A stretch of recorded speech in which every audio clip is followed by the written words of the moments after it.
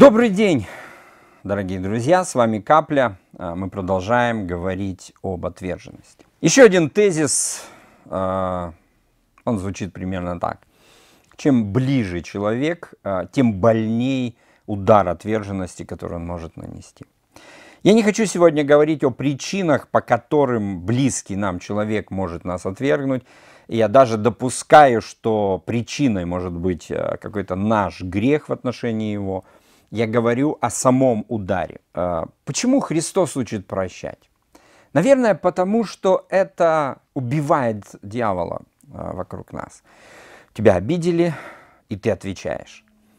И на мой взгляд, друзья, самый простой а, выход из этой ситуации, как мы можем отомстить, это отвергать. Это просто.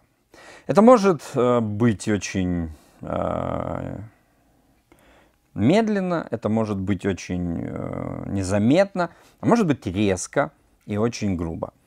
Так вот, чем ближе к вам человек, тем более сильный удар он нанесет по вам, если будет вас отвергать. И нам очень важно понимать это. Соответственно, объектом э, воздействия этого духа будут те люди, которые как можно ближе к вам. Дьявол будет создавать прецеденты, он будет э, сеять раздор, он будет сеять всевозможные вещи, которые будут разделять вас. Не позвольте этому случиться. Не позвольте, чтобы семена э, зависти, распри, э, недомолвок были посеяны между вами и близкими вам людьми. И тогда духу отверженности просто нечего будет делать.